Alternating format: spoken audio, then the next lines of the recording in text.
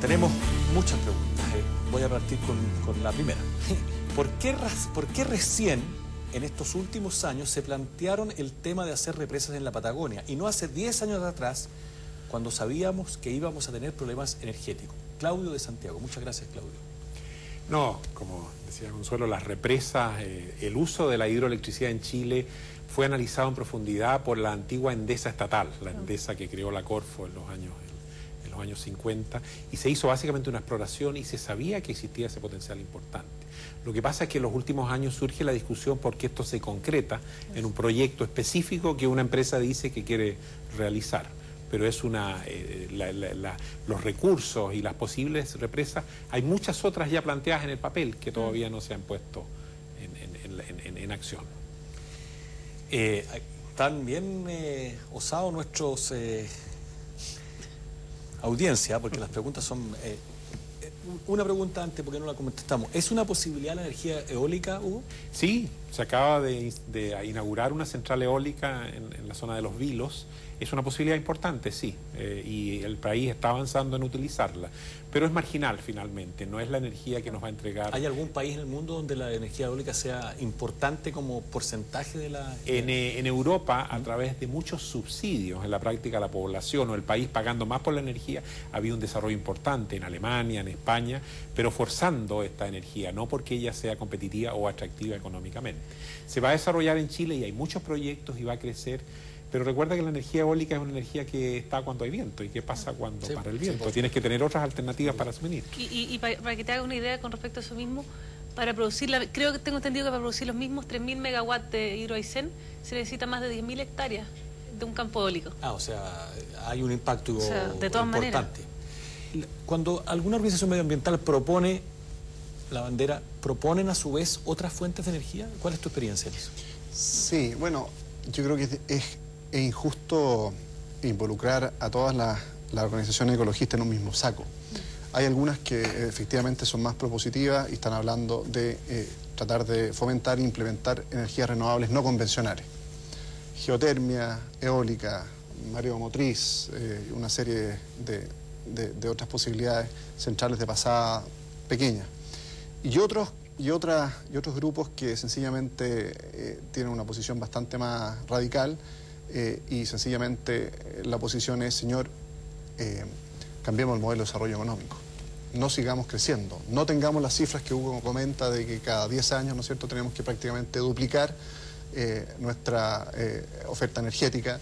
Tenemos que de aquí no es cierto a 10 años generar 12.000 megawatts ¿De de dónde vienen? Entonces muchas veces la pregunta es, bueno, ¿qué propones tú? No, es que cambiamos el modelo de desarrollo energético, perdón, el, el modelo de des- desarrollo económico, y eso es muy complejo. ¿Cuál es el papel del gobierno en todo esto?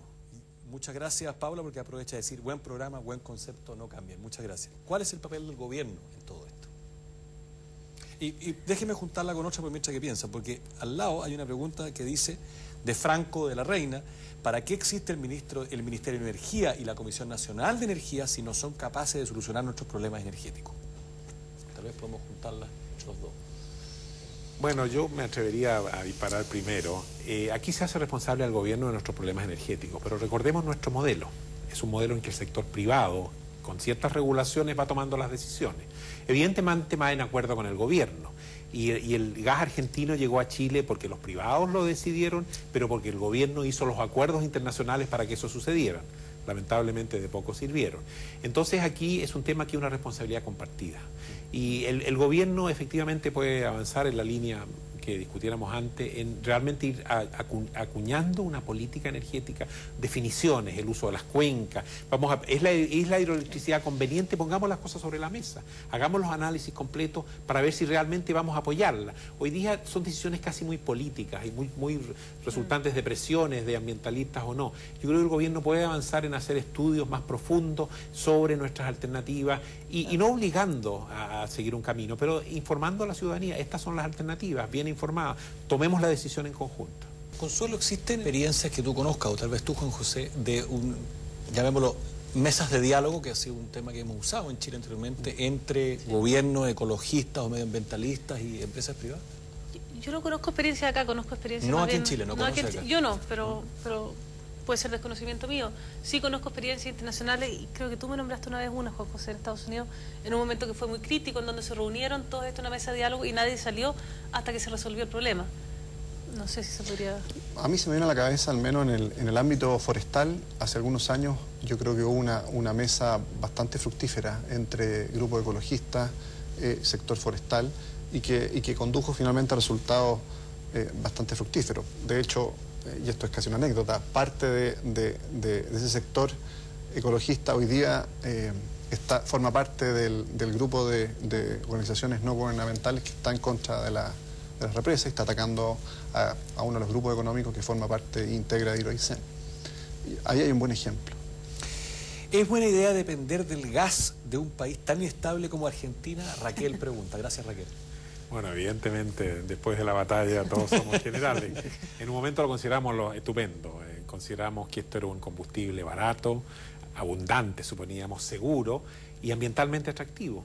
Y confiamos en él, como los europeos han confiado del gas de, de Rusia.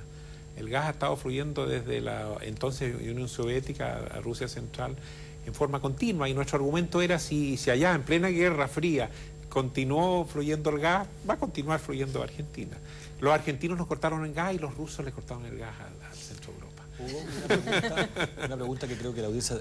eh, ¿Hay suficiente gas en Argentina? No digo que, lo, que, que hay gas suficiente para mantener nuestra necesidad energética en un futuro mediano. Mira, ayer estuve con un colega que muestra que las reservas de gas de Argentina van así. Pero tú sabes que el tema de reservas está muy asociado a lo que inviertes en exploración. De modo que en Bolivia, si gra- la- las grandes reservas de gas en esta zona están en Bolivia. Bolivia está viviendo sobre una bolsa de gas Sí, pero lo enorme. que pasa es que entonces, pues, Hugo, pucha, hay, esto se, se- salí más com- complicado que al principio, digamos, porque, porque tú planteaste dos temas internacionales asociados a esto. Uno, el tirar la línea a través de la Patagonia pegada, la montaña Patagonia Argentina, que probablemente sería más barato, más razonable. Podríamos entregar eh, en una red, podríamos entregar energía en Argentina en el sur y ellos nos entregan en el norte. Podría. Entonces, le- tú le acabas de agregar una componente al medio ambiente, al problema económico, al problema de los tiempos, al problema de las necesidades energéticas, toda una componente de, podríamos llamar, de cancillería, si uno fuera de gobierno, que yo no la había escuchado en esta, en esta No, sí la discusión se ha dado. Lo que pasa es que somos muy escépticos que un acuerdo internacional regional pueda llegar. a- Recuerda el gran gasoducto que Chávez está planteando que va a ir de Venezuela a, a- a Brasil, a Argentina. Eh, estamos muy escépticos y preferimos depender a través de barcos de gas natural licuado que van a comenzar a llegar a través del próximo año que de nuestros vecinos. Pero evidentemente la energía tiene una dimensión internacional, una dimensión estratégica. Y nosotros somos un país débil en ese contexto, digamos, un país que no tiene casi energéticos propios. Aquí hay una cosa que, que- que- una pregunta que hace Sofía.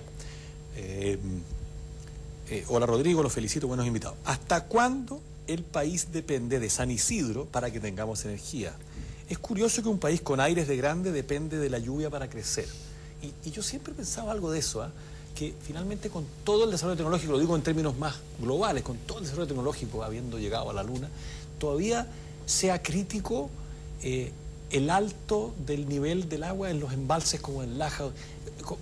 Suena como, bueno, si no llueve, estamos... ah, eh, o sea, Nuestra- seguimos mira, siendo... Seguimos nuestra, siendo nuestra vida depende de la naturaleza y los habitantes, y los habitantes pero hay algo de Chaitén pero hay algo muy te lo pueden potente decir claramente. Hay algo muy potente en eso, ¿ah? Hay algo muy no, potente no, pero que- no, nosotros ¿Cómo desarroll- fue que- no, si los- no, no, no dependemos de la... Lo que pasa es que ahora estamos en una situación estrecha, pero nosotros si tuviéramos un sistema que estuviera bien adaptado y quedó desadaptado por este tema del gas, nosotros tendríamos centrales hidroeléctricas que tienen años de sequía y en los cuales centrales a carbón, a gas, abastecen la energía. Y como estas centrales hidroeléctricas son tan baratas, conviene tenerlas aunque en años en que San Isidro no nos es generoso, no tengamos energía. Pero para eso tenemos que balancearlo con eh, generación térmica.